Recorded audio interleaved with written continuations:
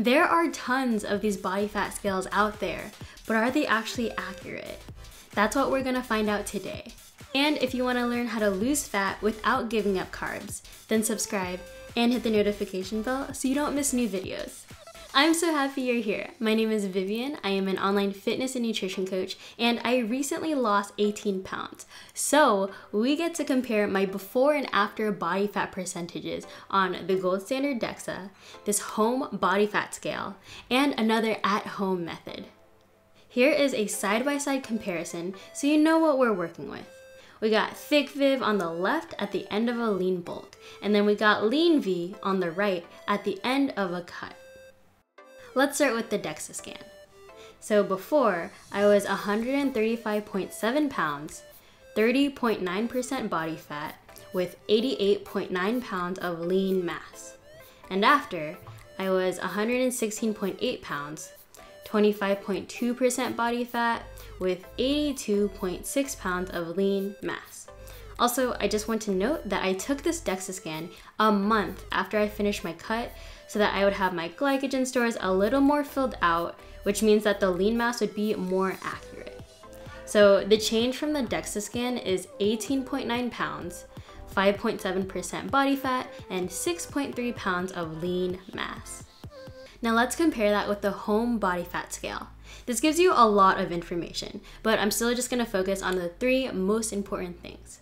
So before, I was 135.45 pounds, according to this, 37.74% body fat, with 84.32 pounds of fat free mass.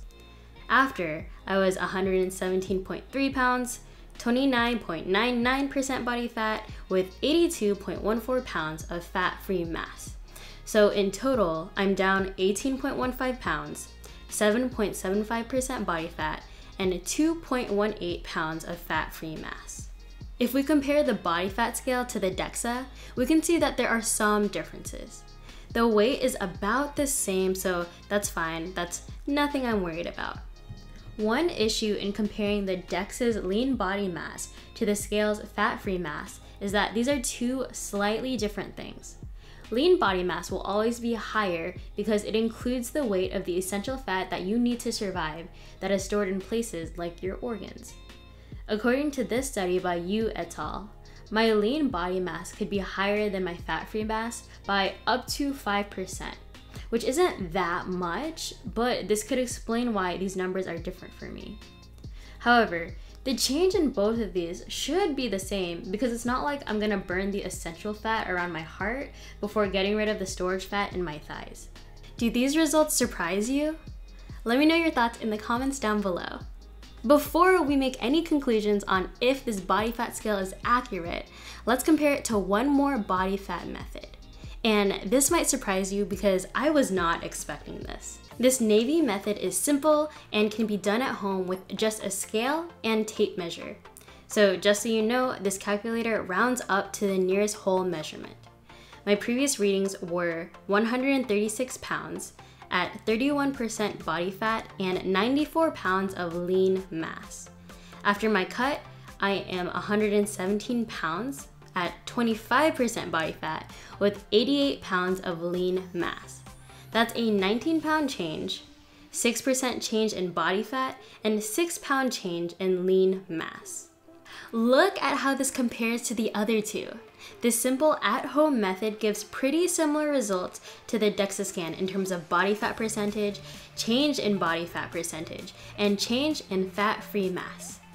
So, back to the question of are body fat scales accurate?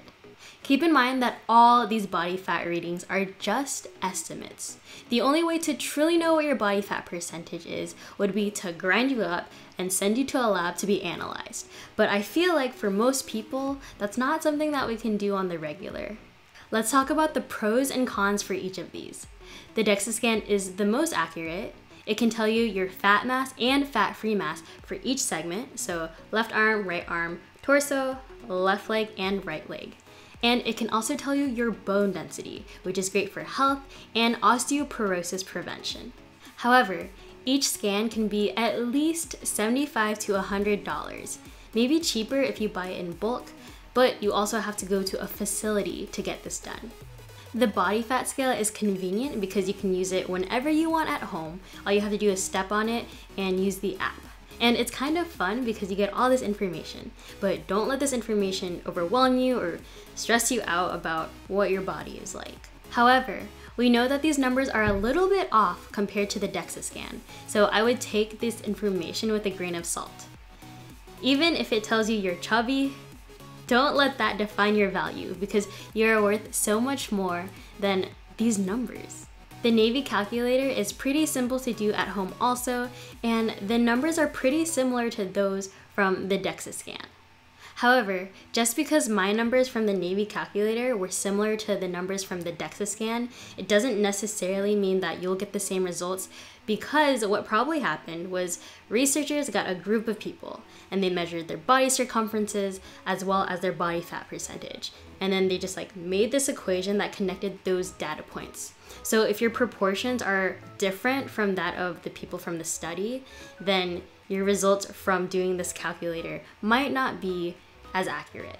Remember, absolute body fat percentage is not as important as change. When I say this, I mean don't get so hung up on where you're currently at.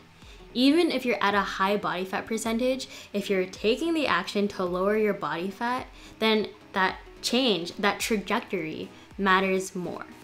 Don't let this number stop you from moving towards your goal and living a happy, healthy life.